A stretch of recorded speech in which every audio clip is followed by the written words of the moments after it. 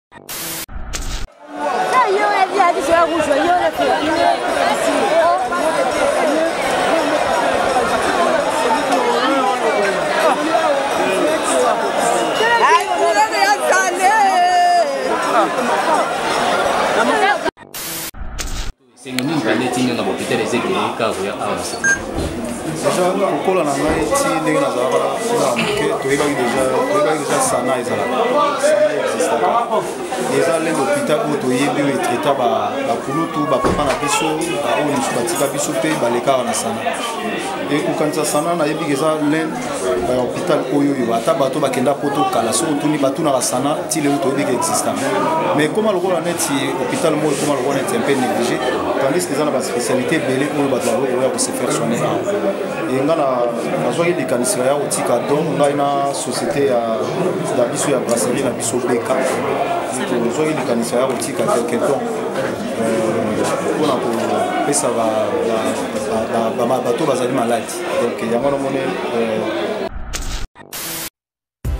eh, eh, eh, ya sika eye ndeko na ngai kobukana te na masolo ya baagence agence eza se moko adbm full service ya mwana mboka adolphe ndeko yo kendaka mboka ya chine oza na besoin ya kotinda biloko uta mboka ya chine mpo oyela yo de partout na mboka okozala tala solution mpo na yo yango oyo agence adbm full service eye mpo na basolution na bino nyonso na oyo etali bafrais tous les sortes ya contener bakoli différence ya adbm full service na baagence mosusu eza nde kaka serie ya kokamwa bondimelanga bandeko na ngai na agence adbm full service otie biloko na yo na mboka chine ozeli ekomi ti place oyo wapi bakolivrele yo biloko apres opesi mbongo ya boye nano ezala te kaka na agence adbm full service ya mwana mboka adolphe que na agence adbm full service baréduire bafrai ti na 30 pourcent bondimela ngai nano ezala te otuni ngai okozwa bango ndenge nini isifi obenga biso kaka na banimero oyo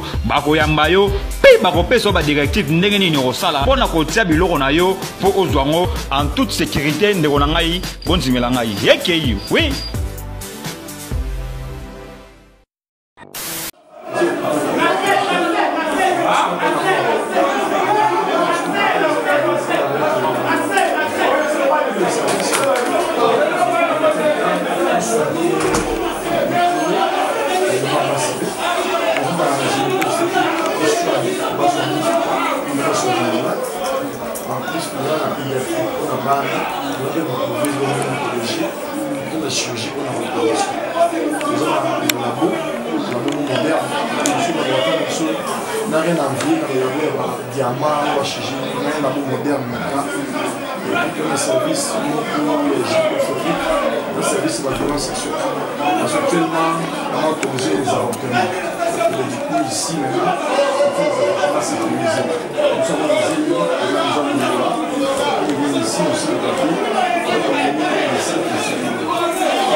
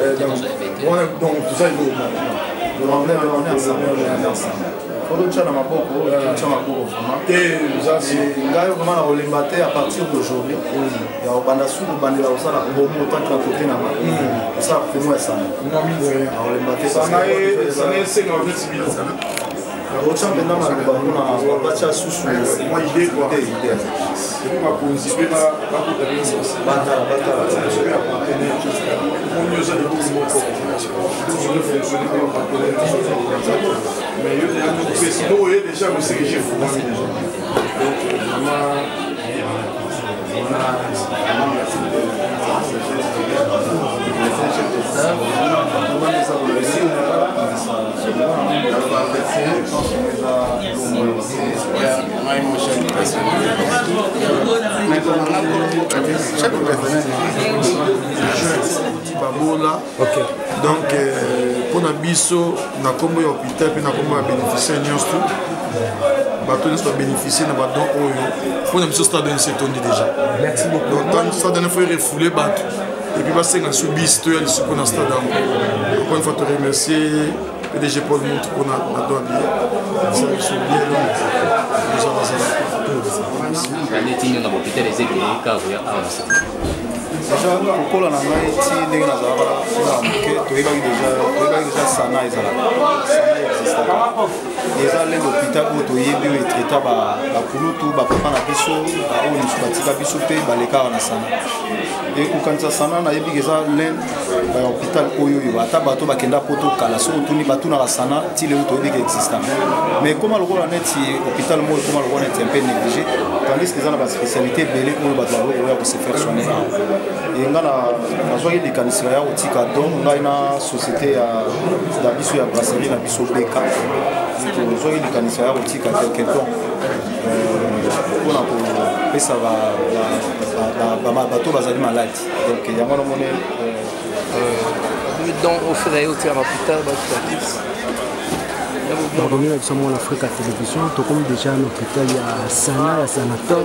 tomoni badon fere lokola jésus de mias aye kotika na kosi na ye bomoni ye nde kokita tozozela ye moko fere lokola asala entré na ye awa mpona aya kopesa babiloko aye kotika awa ozili baka olanda biso pour la première fois s'abonne like napesi déjà mbote na abonne na biso moko la fille qui gagne la fille qui gagne la fille qui gagne depuis quelque part na bosani te na musa oalandaka biso baabonne tout bagolois na bagoloise tout balandaka biso kati yango na afrika télévision bokontinue kosabonne bolike tokozwela bino activité oyo kino na suka